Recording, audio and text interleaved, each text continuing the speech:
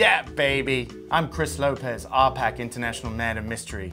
We're here to talk to you today about our swingin' shindig, June 21st, 6 to 10 p.m. at the Sidney and Berne Davis Art Center downtown Fort Myers for our groovy RPAC auction. And I'm Tracy Van Lanschut, and I am also on the RPAC committee, and I am the branch manager for Mortgage One.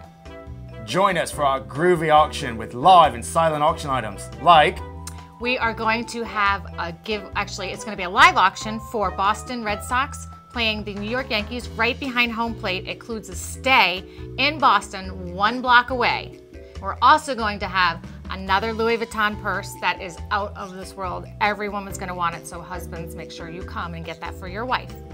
Also, we're going to have tickets to the Club 72 seats for the Miami Dolphins, which you know is very hard to get. So we happen to get two of them again this year, and we're looking to see who the best person is to come out and make the highest bid for all of these items that we want you to come out and see.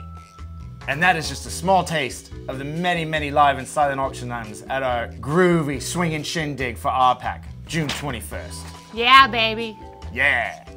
I'm telling you, you really need to come out to this because it's going to be a really great time. I know I can dig it. I'll be there.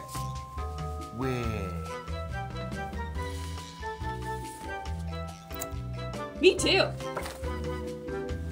Really weird. Sounds groovy to me. I'll definitely be there. Come out and support the Realtor Political Action Committee. Invest in your profession. Yeah, baby.